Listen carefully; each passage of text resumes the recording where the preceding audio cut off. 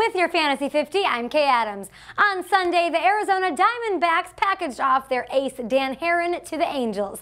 For those of you who have Haren on your fantasy squad, you should be pleased with the move.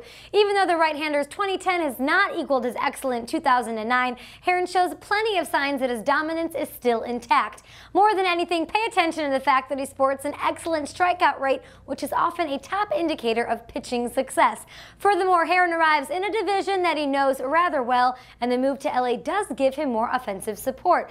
All in all, this is a fantasy upgrade, and although we don't expect huge numbers down the stretch, we do expect him to finish the year with a nice finishing kick.